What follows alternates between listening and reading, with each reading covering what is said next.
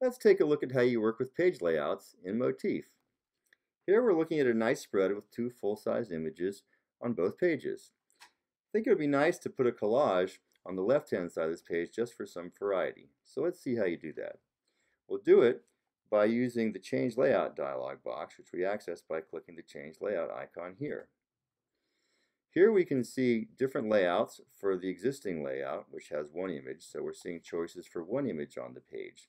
But I could see alternative versions using two images on the page, three images on the page, four, five, six, all the way up to nine.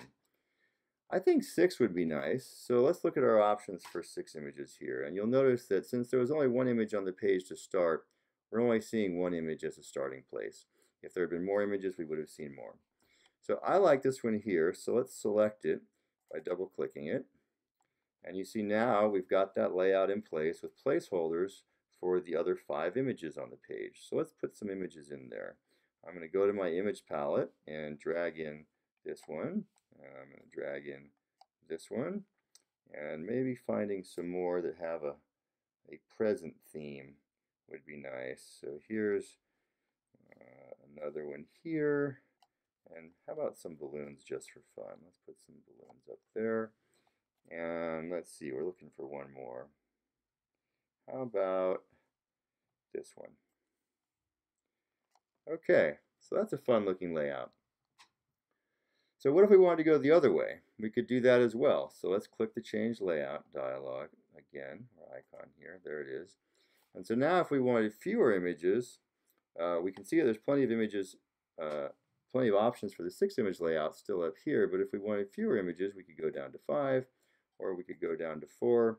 And again, I'm seeing some really fun options here um, that again use the images from the page.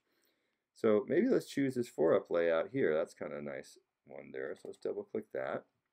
And there we are. So in addition to using the change layout dialog box, which we just did, there's a couple other fun ways to adjust layouts interactively. The first is that I can grab this blue handle between images here, uh, and I can just drag that, and all the images on the page smoothly resize. Drag it the way, they resize the other way. So that's one way, just drag the gutters between images and they work horizontally as well as vertically, like that. Um, or of course, I could change a layout by deleting an image. So if I decide I didn't want this one, I could select it and delete it. And then I could close these up to fill up that space. That's looking kind of nice.